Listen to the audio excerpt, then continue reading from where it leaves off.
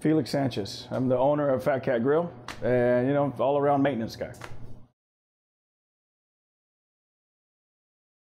Like most, you know, teenagers, you work in a fast food restaurant. And Then from that, it got a little more. I began to get more interested in it. So my sh- uh, chef moved me over to a steakhouse. We went over to the steakhouse, and I started getting, you know, growing a passion for it. I moved to Las Vegas. I worked at the Mandalay Bay there at the Venetian, and then we came back home. And I didn't go back to work for any restaurants at that time. Uh, so I just thought maybe I'd try something different. I worked for the Department of Transportation here for a few years, and then that I think I always just loved cooking. So uh, one day we came upon a location, and you know we just jumped into it. And I always said if I was going to work in another restaurant, it'd be my own restaurant. You're constantly thinking about what can you do different. How can I be uh, more efficient, you know, faster to get the orders out? How can I help one of your employees that maybe is slowing down in that side? You know, and, and where is she more beneficial to the the company? So you're constantly thinking of that. You know, and us being family, we get home and we talk about business for another half hour, sometimes an hour, depending on how deep the conversation gets. And then we get here in the morning and we try to adjust.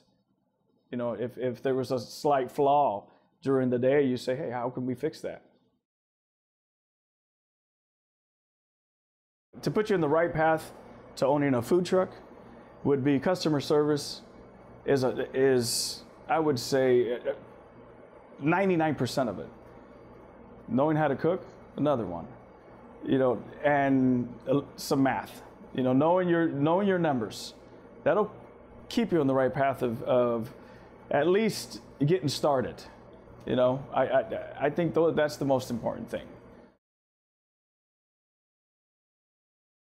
I jumped into this with restaurant training, but a food truck is, is a little different.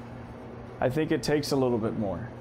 Uh, for instance, I would say a restaurant, it's it's connected to the power grid. You're connected to the sewer, city water, all that. Those are things you don't have to worry about. Well, a food truck, you have water, you know, 50 gallons of water, 50, 25 gallons of gray water. You know, you have certain amount that you're going to work with, and you're going to have to figure out how are you going to make this work for the day. You're going to have to have propane, you're, you, know, all those supplies that in a food truck, you can't carry all those supplies in one food truck. Uh, you're going to have to, it's going to take a little bit more work. It is a lot of work. You know, food trucks are fun. It is fun. You know, uh, but there's a lot long hours. You have, you know, on a short day, you got 10 hours into it. That's a short day. Now, if you do your own bookkeeping, there you got another hour at home you know, you got an accountant that you got to go do. We're in tax season right now. So now we got to go deal with the accountant and make sure all your numbers are correct. We're open five days a week. I work six days a week.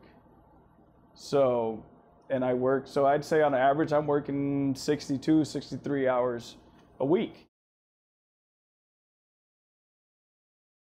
I, I really think that they need to know uh, what it entails to open a restaurant, the hours, the amount of work that it's going to take, you know, uh, and and the love that you're going to have to put into this to make it successful. You know, I think uh, anything that you do, you can make you successful as long as you put the love into it and the time, you know, the hours, the sweat, everything. And I think people need to know that. I do love the work I do. I love the industry. I love everything about it. I love the customer service end of it. I, I love being creative. I, I'm not much of, uh, I'm not competitive with other people. I think I'm very competitive with myself. I'm always trying, as you see, I have seven different salsas and they're all homemade.